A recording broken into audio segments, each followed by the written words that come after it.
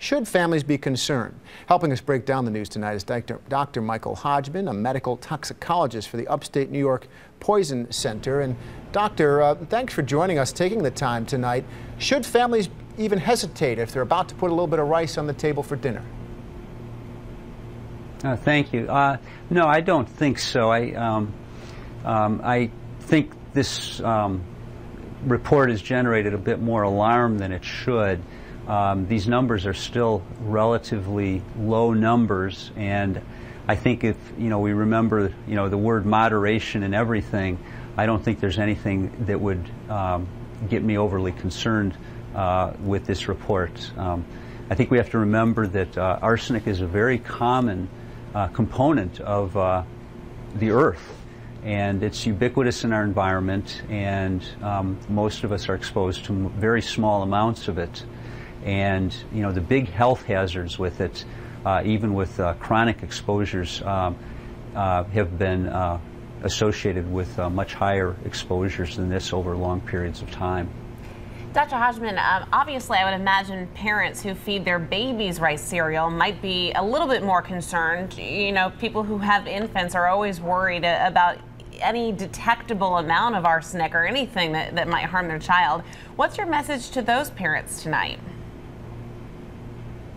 Well, I, I think that um, you, know, you know there is some unknown here, although again these numbers are very very small, and you know I think if a parent was concerned, they might want to limit you know servings of something like this to no more than you know one or perhaps a couple a day.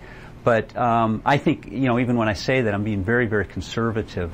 Uh, as I said, you know, the, the amount that was in most of these foods that was reported, if you had a normal daily portion of one of those, uh, the amount of arsenic would be less than, you know, even the permissible limit in, uh, you know, a, a, liter of water or a couple liters of water.